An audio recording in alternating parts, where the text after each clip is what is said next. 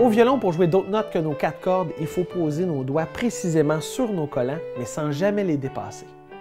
Dans cette capsule, je vous apprends la technique de la main gauche, comment bien la positionner pour se préparer à poser nos doigts sur nos collants. Donc prenez votre violon et faites comme moi. On va venir mettre le violon sur le dessus de l'épaule, comme toujours, la main au fond près du sillet, le pouce à gauche, l'index à droite, et ce qu'on veut faire, c'est être complètement au fond, sentir que le pouce touche au bois de la volute. Et on veut une main complètement droite, comme si on regardait dans un miroir. Le pouce, on va venir le placer en crochet et le dessus du pouce va être aligné avec la touche. Maintenant, si on regarde au niveau de l'index, on a en dessous de chacune des phalanges un pli. Le pli du bas, lui aussi, va être aligné avec la touche.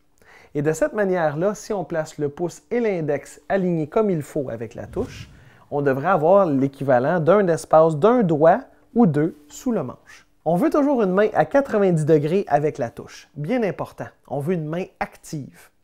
Si vous faites bien, l'angle de votre avant-bras et de votre main devrait toujours pointer vers l'extérieur et non vers l'intérieur.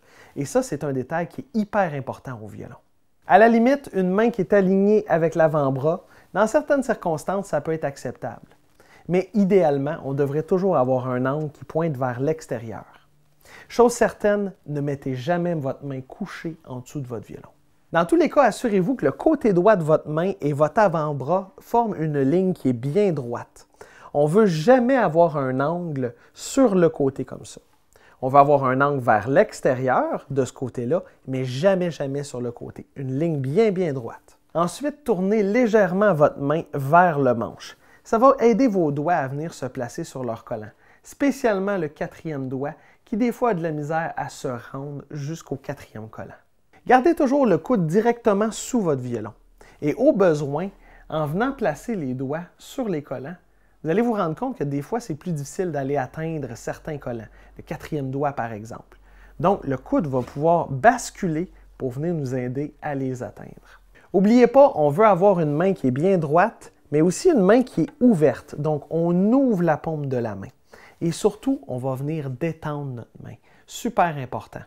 On veut une main qui est toujours relaxe et qui ne serre jamais le manche. Pour l'instant, ça ne changera pas grand-chose pour ce qui est du son qui est produit. Mais dites-vous une chose, plus vous allez être appelé à venir travailler sur la touche au complet, plus vous allez être content que votre main soit détendue. Dans le même ordre d'idée, n'oubliez jamais que votre main gauche ne doit pas retenir le violon. Le violon, il tient complètement seul. Notre main gauche, elle doit être complètement indépendante parce qu'elle va être appelée à jouer partout sur le manche éventuellement. Donc, on ne serre jamais et on ne retient jamais le violon avec la main gauche. Donc avant de passer à la prochaine capsule, on résume. On veut avoir une main bien droite au fond près du sillet.